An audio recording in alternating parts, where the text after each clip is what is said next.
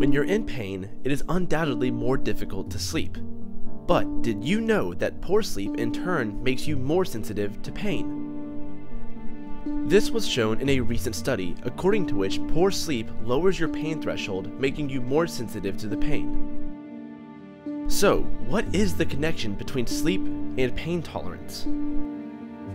The study showed that after just one night of sleep deprivation, the brain region that senses pain goes into overdrive, while other regions that help modulate the pain response essentially go on strike. For the study, researchers recruited 25 healthy young adults who did not suffer from sleep or pain disorders. As everyone has a different pain threshold, researchers first examined the pain thresholds of the study participants by applying heat pads to their legs.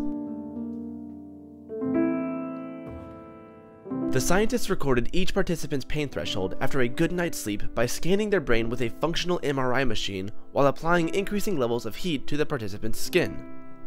Once scientists had established the person's pain threshold, they repeated the procedure after a night of no sleep. Researchers found that when subjected to pain, a sleep-deprived subject had a hyperactive somatosensory cortex, which is the brain region associated with pain sensitivity.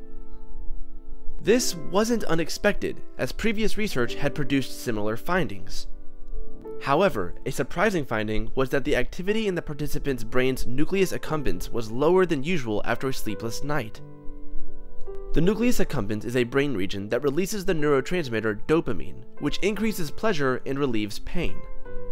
Researchers also found that the brain's insular cortex, which assesses pain signals and prepares the body's reaction to pain, was also underactive.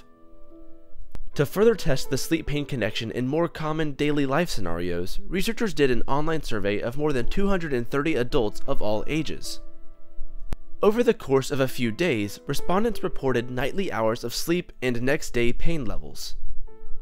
The findings revealed that even minor shifts in sleep and wake patterns affected pain sensitivity. Decreased sleep quality from one night to the next was linked to worse pain, as was increased awakenings during the night. This new study shows that a bad night's sleep can do far worse than leave you a little tired and grumpy the next day. Yet, as that awareness of sleep's importance increases, sleep time and quality continue to erode in the modern world. Sleep is the last thing we do at the end of a busy day, and it is the first thing to be sacrificed when a lack of time demands it. Most of us sacrifice sleep to get more work done, but in fact, the actual outcome is just the opposite. Making room for sufficient sleep in our lives can allow us to get more done in less time by improving our efficiency and staying healthier and happier while we do it.